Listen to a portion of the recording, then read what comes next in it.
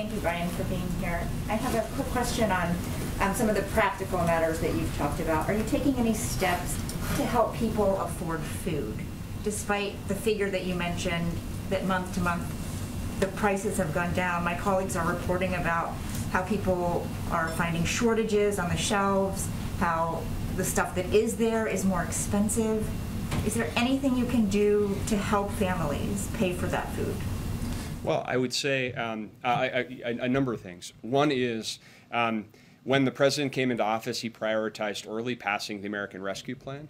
Uh, the American Rescue Plan has historic investments in actually um, addressing food insecurity uh, for people who couldn't um, uh, afford um, uh, food. As a result, we saw hunger uh, in the United States decline uh, in, in, in 2021. Um, it also included a, the, uh, the child tax credit, uh, another resource that went directly, that are going uh, directly to families um, to help address the you know, typical costs that they face on a monthly basis. Um, and as a result, we saw um, child poverty fall by 35 to 40 percent uh, in America over the course of 2021. Um, and uh, uh, and we saw, as I mentioned, we saw some welcome deceleration in the increase in, the, in the cost of food uh, this month, uh, and we're going to keep focused on those uh, uh, ways that we can address the typical pocketbook issues that the American people face. Uh, and this is one of the issues why the core economic logic behind the president's, but behind the Build Back Better plan is important in this context, because for working Americans who are benef- uh, who are benefiting from a strong labor market and more job opportunities, but also um, struggling with uh, costs not only of food, but costs of uh, childcare or the costs of health care.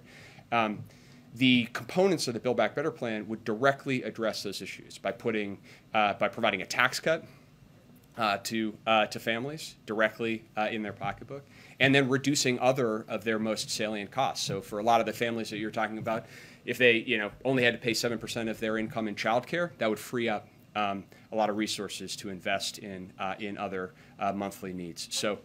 Short of that passing and separate from what you have already done, the measures you mentioned, is there anything new you can do to help the food situation? Well, I would say first, what we have done is historic and has made a big uh, difference. Number two, our, our, our central economic legislative priority is getting uh, those elements of Build Back Better in place. And, and part of the urgency of that is to address precisely uh, the challenges that you are identifying. Uh, so, um, and beyond that, uh, we are looking at ways that we can unstick elements of the supply chain that may be getting in the way of, for example, physical product uh, getting uh, to market. Um, and certainly, we have seen uh, we have seen over the course of this fall, we've seen concerns about um, uh, uh, product shortages in particular categories and otherwise. Um, what we've seen overall, if you look at retail inventories, including grocery store inventories, they're actually um, higher now than they were uh, pre-pandemic, so in a pretty healthy place. Um, but that doesn't mean that there's logistical challenges at the at bottlenecks that um, that may be localized. Um, and to the degree that we can work with private sector companies um, and help, you know, um, ease the challenges in their private sector supply chain, certainly we will uh, will remain open to doing that. One question on the global challenge, since you mentioned it, the president mentioned it today. Can you talk about how much you believe China's latest round of lockdowns and its zero um, case doctrine is having an impact on inflation since obviously it's impacting the global manufacturing? And has the administration had any conversations with China about the factory workers, about the lockdowns? Yeah. So there's no question that um, the global nature of the uh, pandemic uh, affects global supply chains uh, and has affect, affected the flow of goods um, uh, across across economies. Uh, one of the things that we did earlier this fall was actually set up what we call an early warning system, working with a number of our American companies uh, that rely on sourcing input components or products from Southeast Asian countries.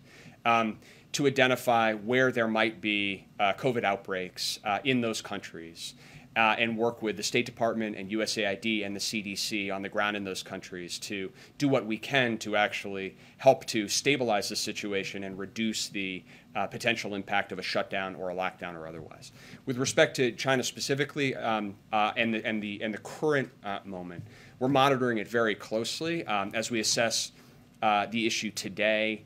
Um, the lockdowns are most likely to have the isol- uh, effect isolated in China because the, the production facilities in those uh, geographies are principally suppliers to the Chinese market. Um, but the situation is fluid and ongoing and something that we're monitoring in real time and working uh, across the interagency, uh, including the State Department and the CDC, to try to keep a handle on. Thank you.